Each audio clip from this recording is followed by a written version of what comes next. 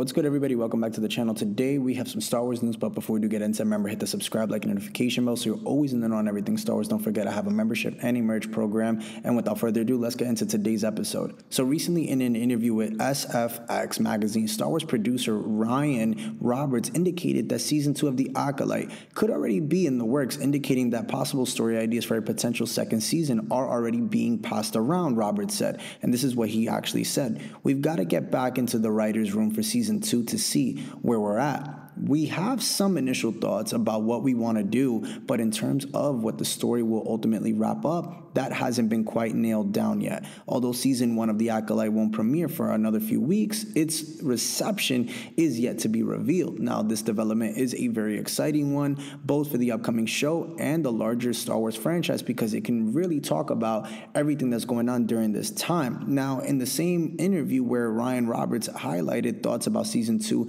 Simon Emanuel, another Star Wars producer, revealed that The Acolyte will have a clear ending for season one, but will also make room for the show to continue. So that's another good update. Now, these updates from both Roberts and Emanuel are promising for The Acolyte and what the show can do going forward. And it gives a little bit of sense of the tremendous number of stories that The Acolyte could potentially open. Now, as a brand new Star Wars era to be explored on screen, The Acolyte will be introducing innumerable characters with them and unique stories to to be added on to. Now, moreover, while some of the show's plot points are driven by the prequel trilogy, there's undoubtedly much more to explore during this High Republic era that we do have now. Now, for one, alongside the Jedi being in their golden era, the Republic was experiencing a peak period as well. Now, this means that a number of potential stories could be explored, including prominent senators at the time, or perhaps some groundwork being laid for Palpatine's eventual rise to power. In addition, it's clear